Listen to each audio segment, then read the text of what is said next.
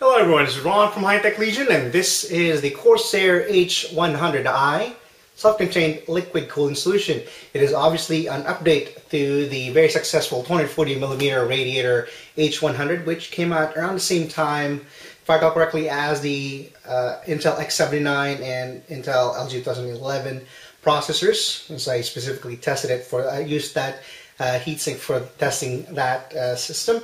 And of course, the H100i is also compatible with LGA 2011, LGA 1155, LGA 1156 uh, systems for Intel, and all AMD systems are currently available, including FM1, FM2, AM3 Plus. And of course, the H100i, similar to the H100, uses the CoolIt design, but this is the updated CoolIt uh, uh, OEM design. You see there, we've seen this, a little bit version of this, a little uh, bit different than the H60 we have previously looked at, the H60 update. Uh, it has, of course, the new mounting, the new hose, and the uh, new Corsair fans that have included, similar to the SP120L series fans that Corsair uh, has recently introduced. And more, of course, going to test it out and see how well this product performs.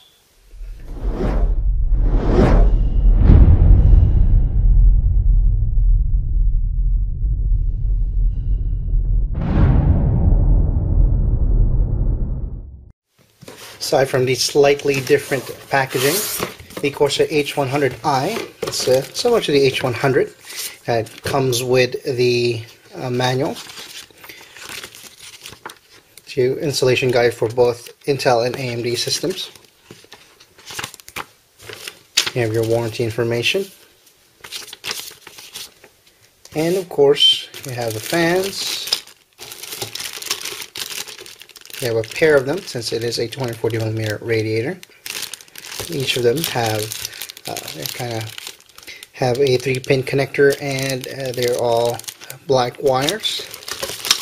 Put that aside. This package you get essentially a connector for the uh, from the pump unit to the uh, two separate fans. They provide you with two of them in case you want to add extra fans later on. See that the uh, connectors are different than the standard four pin connectors that you, uh, you have seen in the H100. And you also get this uh, updated Corsair Link connector that attaches to the USB port or USB internal header of your motherboard and a USB connector that plugs into the pump unit of the H100i.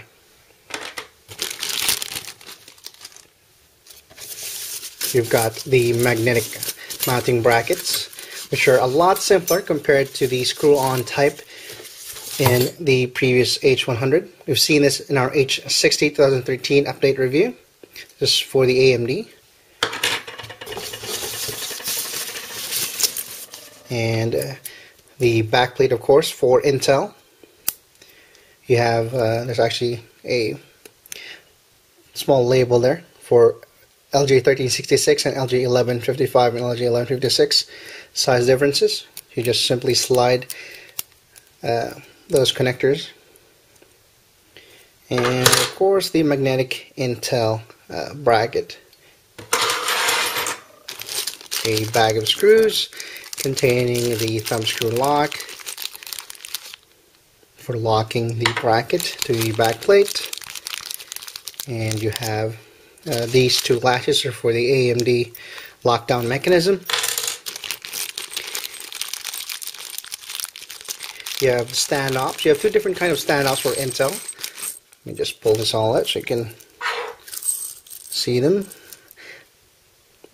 this one with the one short end and one long end is for LGA 2011 systems since they have an integrated locking mechanism. They don't require a backplate. While these longer ones, let me just uh, try to find the LGA 1366 standoffs here. They are noticeably longer. They require the backplate. And you get washers you get two different kinds of screws for installing the radiator and the fan unit. You get this long one to connect the fan onto the radiator.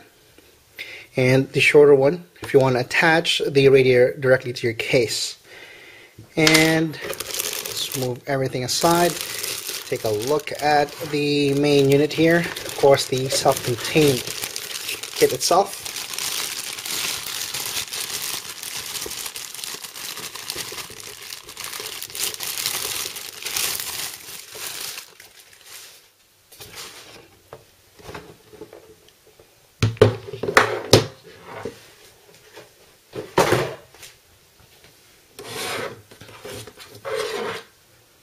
Have the radiator, standard, uh, it fits two 120 millimeter fans. There's a standard 240 millimeter radiator with 15 millimeter spacings between them.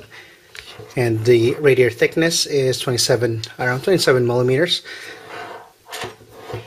You have the new hose instead of the uh, ribbed rubberized, uh, rather the ribbed plastic hose, of the H100.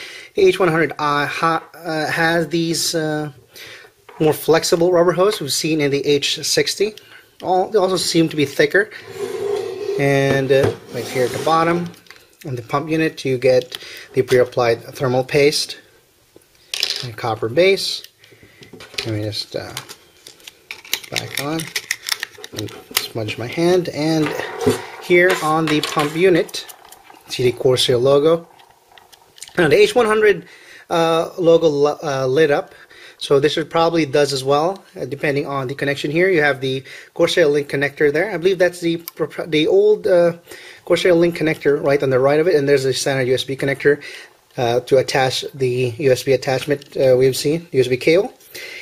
And uh, there is also that uh, those two connectors at the top that are new. They're not the same connectors as the standard 4-pin connectors we saw on H100.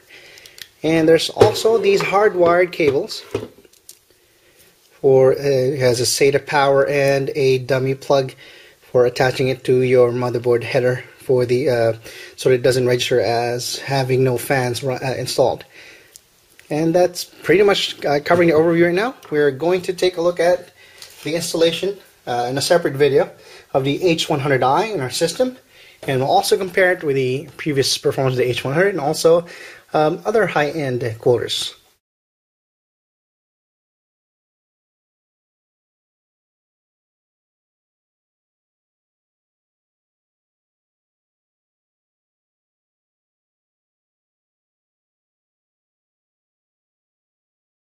All right, there you have it. As you can see, the performance is definitely there. It improves over the H100 and also, especially in uh, balanced and performance mode, it uh, kind of beats the competition. And uh, generally, the updated uh, design, I like it. I love the, uh, let's go over things I like about the H100 first. First of all, the fact that the Corsair V2 software is integrated now. It doesn't require any additional uh, you don't need to purchase any additional items. You don't need to purchase any additional uh, peripherals. So attach it. You can just use the USB connector that you have plugged in and connect it to your motherboard. And immediately, once you install the Corsair Link software, uh, just download it from their website. You can control your H100i cooler. And also the mounting mechanism, as we have seen with the H60013 edition, the new CoolIt uh, mounting mechanism is definitely a lot easier. I, I, I even prefer it over the Asetek design just because you can easily reuse and re and swap it out. And just the fact that it's magnetic you don't need to screw it in like the, the H100 it is a lot easier to install.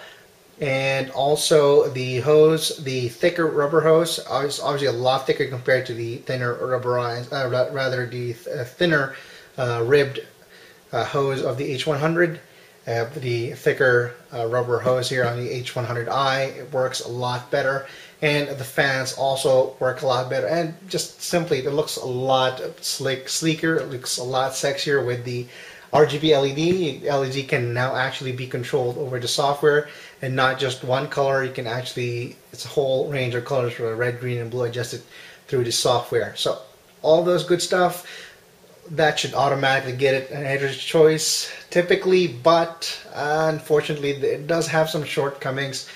As mentioned, the uh, Corsair Link software does have some quirks. I would have uh, preferred if it was detecting my CPU temperature uh, accurately. Sometimes I would even boot and it would detect at zero, uh, as zero degrees. And even when it was working, I had it overclocking. It was detecting it only up to 44 degrees. There's no way it was running at 44 degrees. So uh, it needs some work in that department, but it does work uh, very well when adjusting the fan speed, thankfully, and the uh, the pump.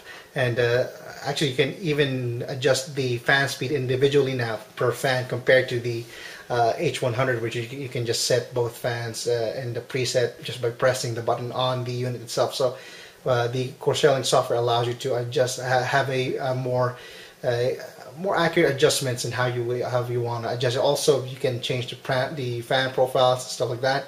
And also another thing I didn't like is the noise. It is even in balance mode, it is loud. I, I can't even begin to describe just how loud it is. Uh, it, plus, when you reach even in uh, when you reach the uh, performance mode, it has that very high pitched noise. It I tried to capture with the camera. The camera can't even capture, but when you're sitting there in front of a computer and you can definitely hear it. It's very faint, but it's it's kind of digs on your ear. that is just one. The performance is undeniable, but the fact that it is that loud is just I can't imagine anyone using their system on performance mode with the H100i. So I had to dock and point to that. So I just had to deduct it uh, and just give the H100i a gold award. Fortunately, again, as I said, normally with that kind of performance, I'd give it an editor's choice, but we don't just grade it in the performance and the improvement. It, it does have some shortcomings, and uh, if if they work on the Corsair V2 software and just make it work, even the fact that the, I have I couldn't adjust the fonts. The fonts were too small. Uh, Corsair, if you're listening, hopefully you adjust that a bit because I know some readers would.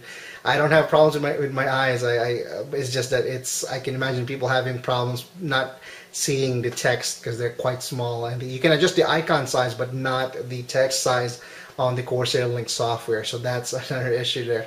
And the fan noise, so definitely, and you can even improve the performance if you change uh, the fans, of course, and uh, you you you uh, add two more fans. You can have a push-pull configuration if your case allows it, of course, and just run it uh, maybe in a performance mode or just your own custom speed or even in quiet mode. It does a respectable performance even in there. Of course, uh, it's not as great of performance as in the performance mode or balance mode, but uh, you can live with the sound that's coming out of it. Well, anyway, uh, that concludes this part of the, uh, well, this is actually the overview and benchmark part of our Corsair H100i review. You just click below if you want to read the full review, my conclusion, and also check out the overview of the Corsair Link V2 software and the installation guide I did that uh, where I installed the H100i on an AMD system, an, an LGA 1156 system, and also LGA 1366, which requires a backplate, and also the LGA 2011, which we tested. Anyway, this is Ron from HiTech Legion. Leave questions or comments below. Uh, go to our Facebook page, facebook.com slash HL Reviews. And once again, I am signing out. Thanks for watching.